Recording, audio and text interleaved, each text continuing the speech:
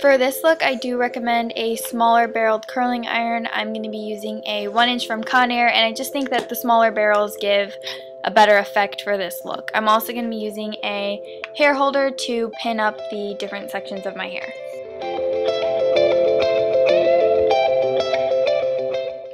Alright, so what you're going to want to do is only curl the middle section of the pieces of hair that you grab. As you can see, I'm leaving out the top and the bottom with a little tail, and I'm only wrapping the hair around about three to four times depending on the length of the section of the hair that you're taking.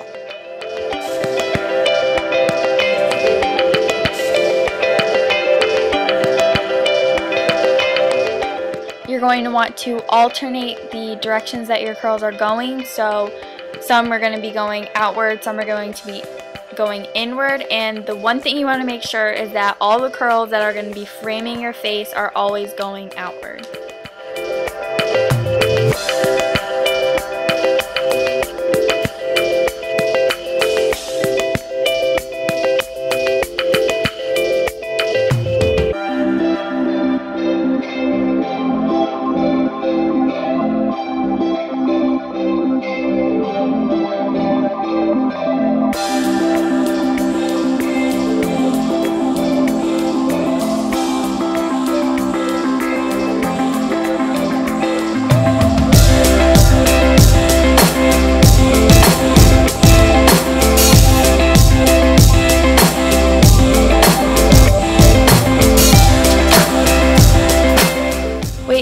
Curls are all cooled and use your fingers to move them around and pick them apart.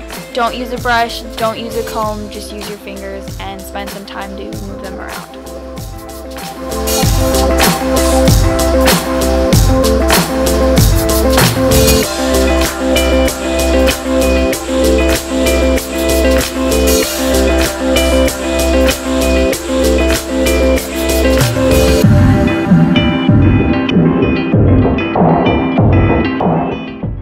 That's the end result. Thanks for watching guys.